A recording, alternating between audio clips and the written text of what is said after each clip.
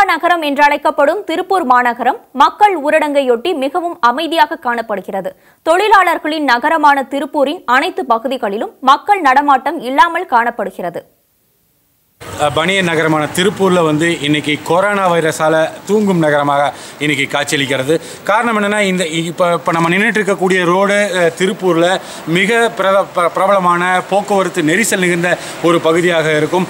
இந்த பகுதியை கடற்கரைக்கே பல அதாவது பல மணி நேரம் காத்திருந்து கடக்க வேண்டிய ஒரு சூழ்நிலை இருக்கக்கூடிய இந்த ரோட்டில் இப்போது நம்ம பேசிட்டு இந்த ரோட்டில் ஒரு போக்குவரத்து என்பதே இல்லாத நிலை இன்று காணப்படுகிறது. பிரதமர் மோடி அவர்களினுடைய உத்தரவிற்கு ஏற்ப இன்று இந்தியா முழுவதும் முழு அடைப்பில் ஈடுபட்டு இருக்காங்க. அதன் ஒரு பகுதியாக திருப்பூரில் பார்த்தீங்கன்னா சிறு கடைகள் முதற்கொண்டு அதாவது பெரிய நிறுவனங்கள் அனைத்துமே இன்று மூடப்பட்டுள்ளது. வெளி மாநில தொழிலாளர்களை இங்கே உள்ளடக்கி இருக்கக்கூடிய திருப்பூரில் சுமார் பல்லாயிரக்கணக்கான தொழிலாளர்கள் திருப்பூரில் பணியாற்றி கொண்டு இருக்கக்கூடிய இந்த திருப்பூரில் வட மாநில தொழிலாளர்கள் அதிக அளவில் பணியாற்றிட்டு இருந்தாங்க.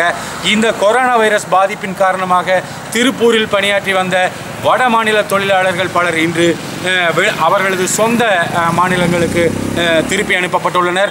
மேலும் திருப்பூரை பொறுத்த வரைக்கும் பார்த்தோம்னா திருப்பூரில் இருக்கக்கூடிய பனிய நிறுவனங்கள் அனைத்துமே வரும் பதினைந்து வரும் முப்பத்தி ஒன்றாம் தேதி வரைக்குமான அந்த பதினைந்து நாட்களுக்கு வந்து முழு அடைப்பு அதை ஈடுபட்டு இருக்கக்கூடிய ஒரு சூழ்நிலை இன்னைக்கு திருப்பூரில் இருந்து வருது.